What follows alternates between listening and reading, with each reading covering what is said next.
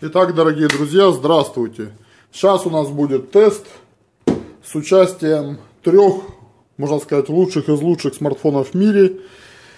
Это Samsung Galaxy S8 Plus, iPhone 7 Plus и LG G6.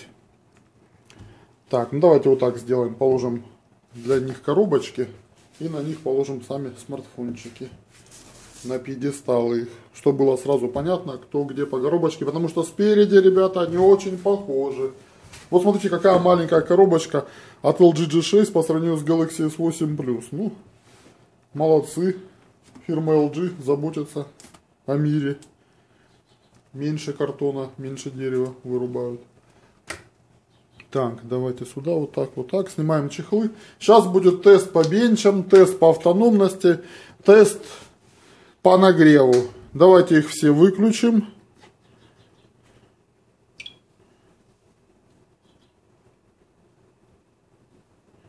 А, выключить и перезагрузить, перезапуск, выключение.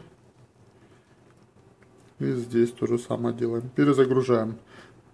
Для правильности частоты теста. Так.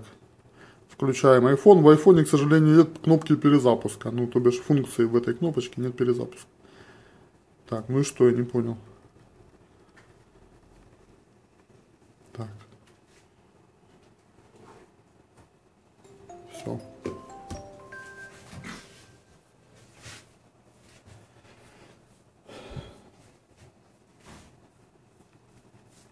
Так, разблокируем Samsung.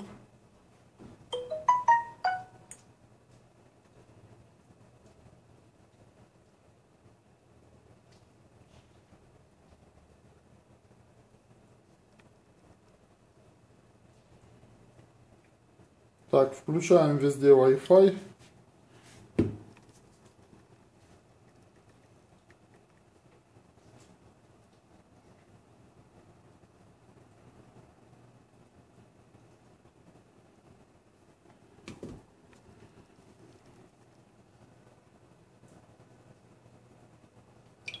Так. Везде Wi-Fi включаем. Делаем максимальную яркость экрана. Систему энергосбережения проверяем, везде отключаем. Так. С доминейшеном шпилят что-то там. Все, все сброшено, фоновые процессы все закрыты. Заряжены все до 69%. Ну, будем считать до 70%, так будет легче считать. Так. Везде делаем максимальную яркость экрана и отключаем автоподстройку. Так, автоматическую яркость везде отключил. Везде максимальная яркость экрана. На iPhone делаем то же самое. И отключаем автоподстройку на айфоне. Так, так, так, так, так. Экран яркость, автоподстройка. То бишь на всех мы в режим самолетик не ставим все специально, чтобы они сильнее расходовали батарейку. Поняли вы, посередине Samsung Galaxy S8 с левого боку iPhone 7 Plus, правого боку LG G6. Все заряжены до 69%. Обратите внимание, ребята, 69, 69, 69. Обратите внимание, пока в лес не убежал. Так. Ну и все, и поскакали, ребят, давайте. Где тут бенчи? Бенчи, бенчи, бенчи. Basemark OS 2 запустим первый тест. Так, проверим. Wi-Fi везде включен? Да, Wi-Fi везде включен.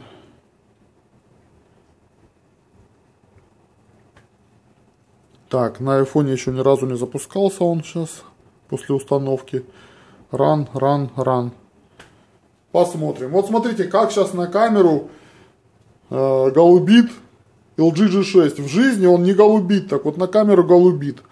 А вот то, что желтит экран, белый цвет Samsung Galaxy S8 на камеру тоже не передается. Ну и самый эталонный цвет именно на камеру это на iPhone 7 Plus.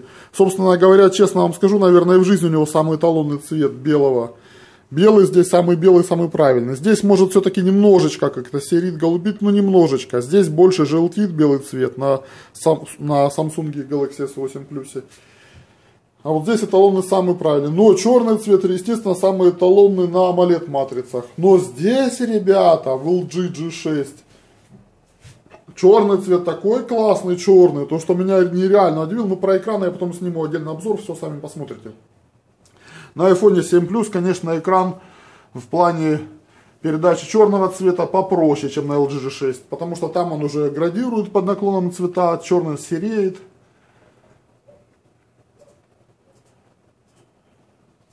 А на LG такого нет. И вот это, конечно, плюс LG -шечки.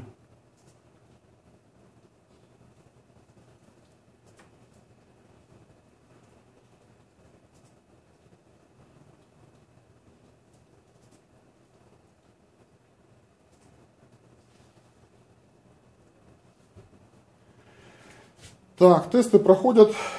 Это мои сейчас три любимых смартфона на 2017 год. Потом посмотрим Mi 6 еще возьму и OnePlus 5 возьму еще.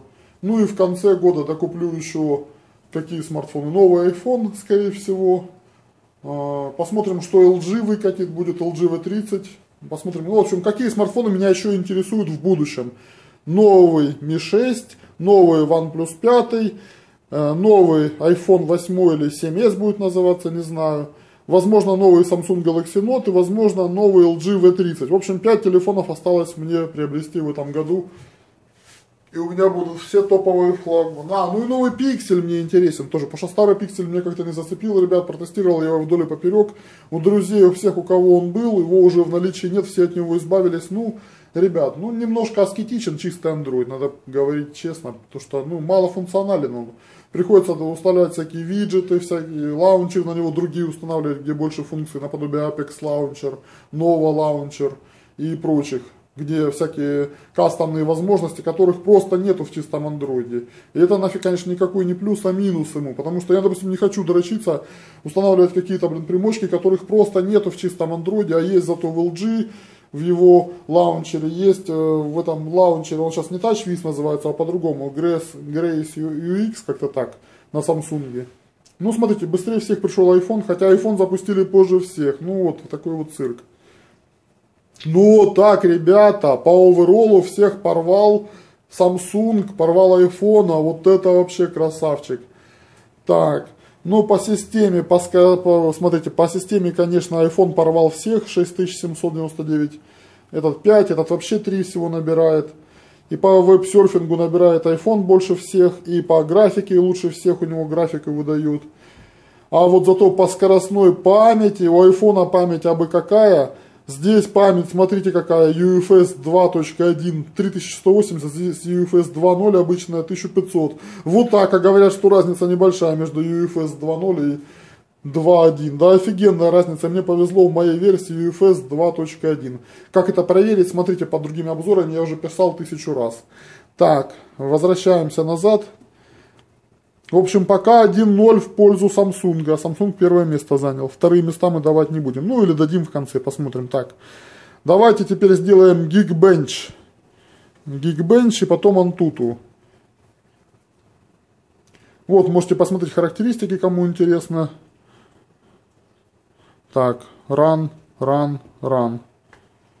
То мы запустили с права налево, а теперь слева направо немножко высветляет, сильно так светит э, даже в помещении экран Samsung на максимальной яркости.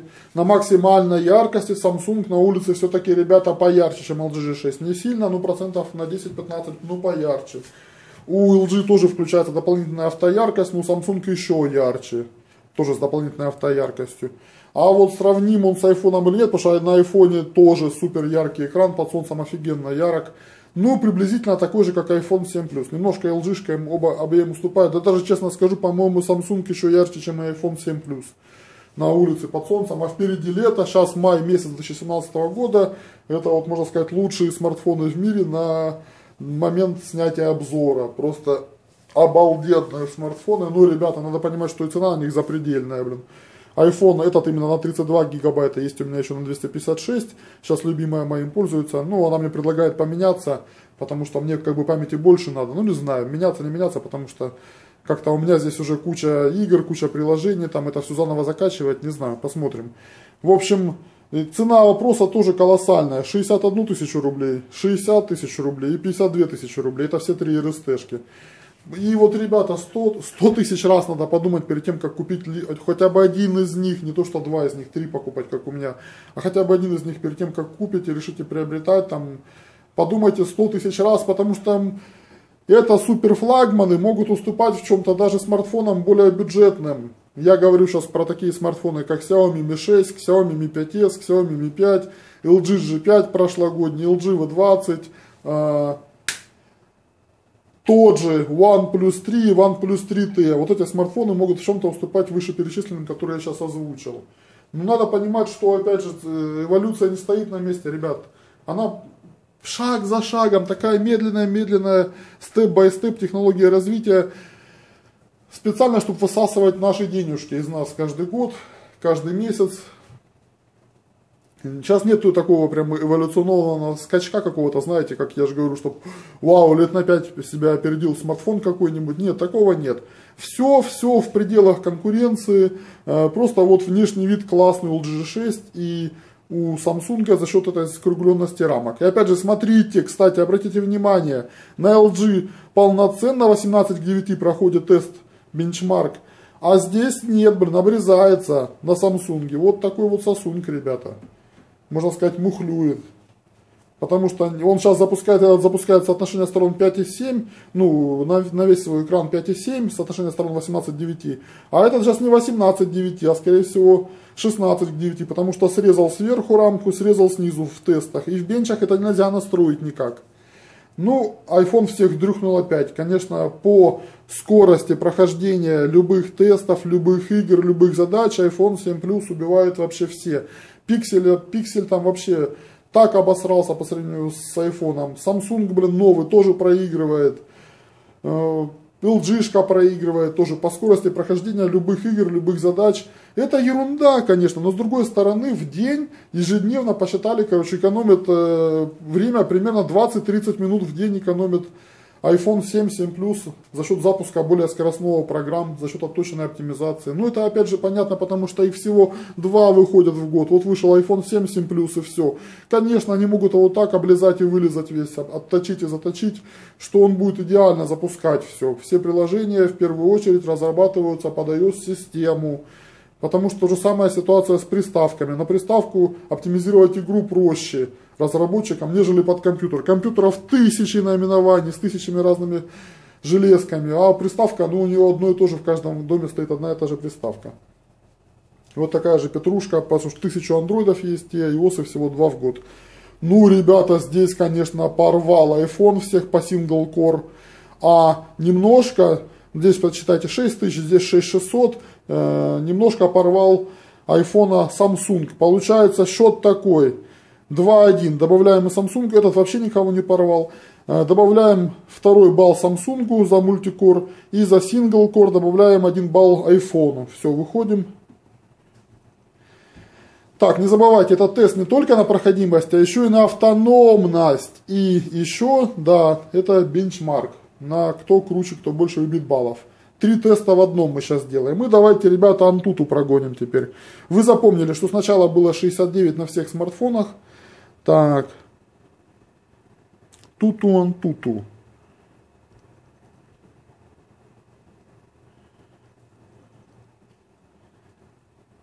Так, раз, два, три.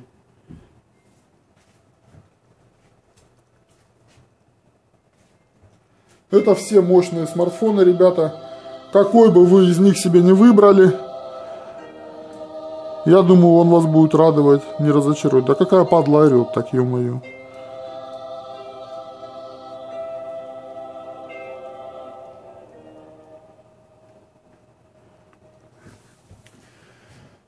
Ну, опять же, ребята, я же какой бы вы ни выбрали, хоть он вас не разочарует, думаю, будет удовлетворять полностью вашим потребностям. Но, опять же, надо понимать, четко иметь перед собой понятие, для чего вообще вы покупаете, для каких целей, что вам нужно в смартфоне. Камера хорошая, камера хорошая по фото или по видеозаписи, или камера хорошая по суперзвуку, как в LG G6, или экран, экран, чтобы вам не утомлял зрение, там, или чтобы был ярким на солнце, понимаете, производительность какая будет, или какая будет автономность, или как будут игры идти. Надо это все прекрасно понимать, как будет работать GPS-тест. Где будет быстрее находить спутники. Понимаете, вот это все, все очень важно определиться перед выбором любого смартфона. Просто надо важно изначально определиться, где твое место и что ты за птица. Так. Снизу iPhone 7 Plus, посерединке Samsung Galaxy S8 Plus и сверху LG G6. Малый шок по сравнению с этими, хотя у него экран 5,7 дюймов, а здесь 5,5 дюймов, здесь 6,2 дюйма. Но обратите внимание, все кроме iPhone, этот тест проходят соотношение, ну как бы и iPhone проходит соотношение сторон 16 к 9, то бишь 18 к 9 нифига не пашет. Ну смотрите, сейчас LG G6 прям летит, не знаю. На айфоне сейчас что-то подлагивало в концовке. Посмотрим здесь оконцовку на этих двух. Так, сильно прям так светит, конечно, экран Samsung, а то что он прям аж пересвечивает камеру. Надо было экспозицию на камере подстроить перед видеозаписью. Вот видите, чем плохая камера, то что здесь, блин, можно подстраивать на LG 6 экспозицию во время видеозаписи. Здесь на этих двух нельзя, а здесь можно. Это, конечно, вообще просто вещь. Вещь.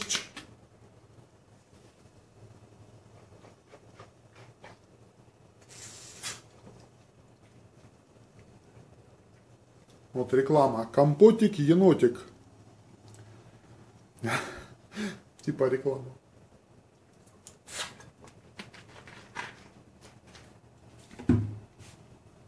Там у меня на самом деле в бутылочке минералка уже налита.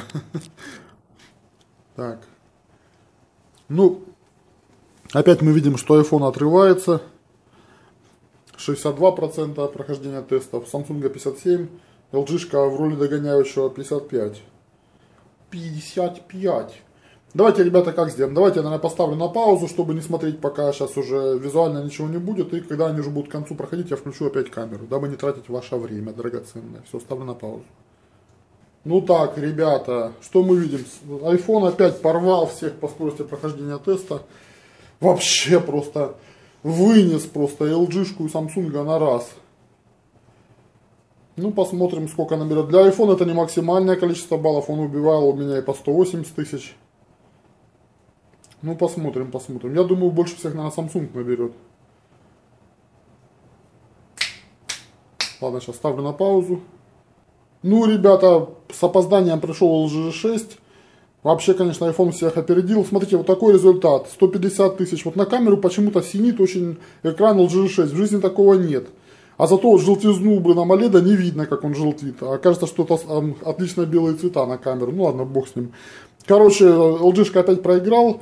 173 а, тысячи, iPhone 7 Plus, Samsung Galaxy S8, 175, вообще тютелька в тютельку, можно по баллу обоим дать, но мы это делать не будем, мы сейчас делаем перетест всех троих смартфонов, ребята, вот что мы сейчас делаем.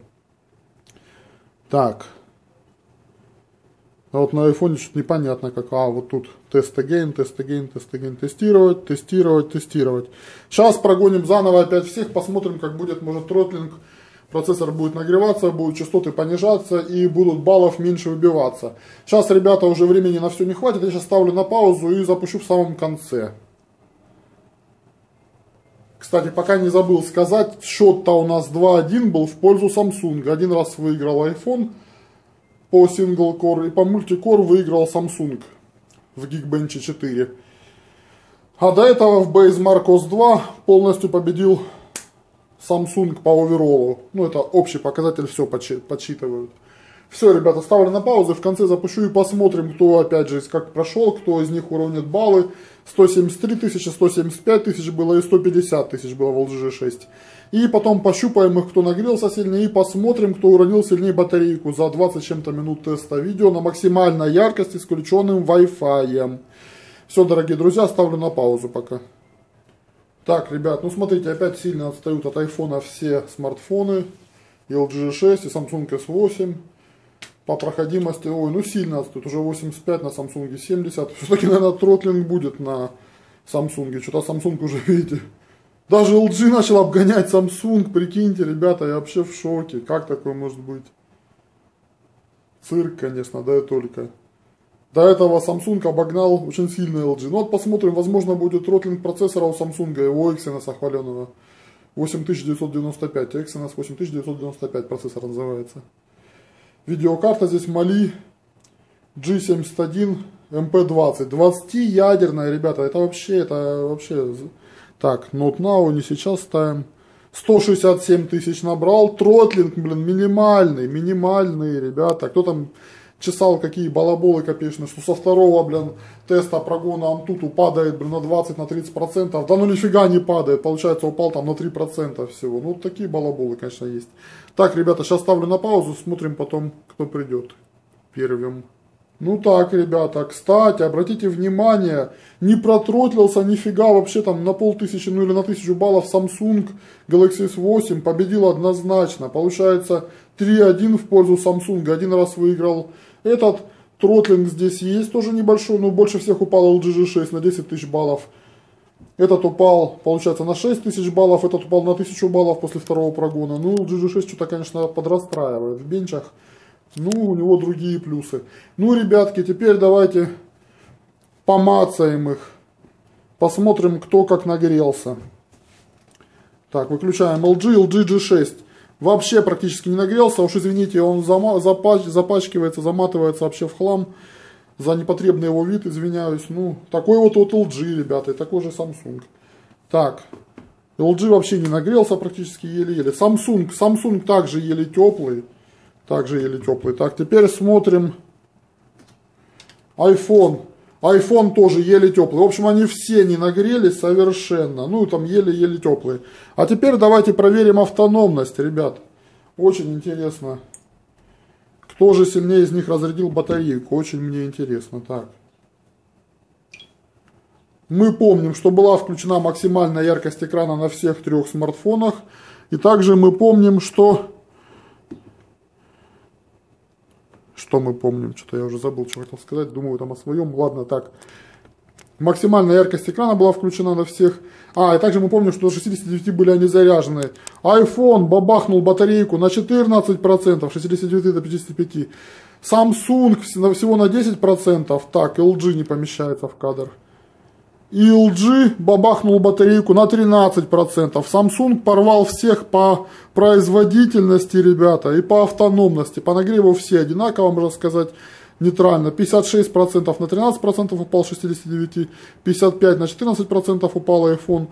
И всего на 10% упал Samsung Galaxy S8 Plus за минут, ну там, под 30 минут, я же на паузу ставил два раза минут, ну примерно за 30 минут видео, скажем так может меньше немножко. Упал Samsung Galaxy S8 меньше всех. Автономность, короче, у него лучше всех получается. Вот такие вот выводы, ребята. Автономность лучше всех из этих трех.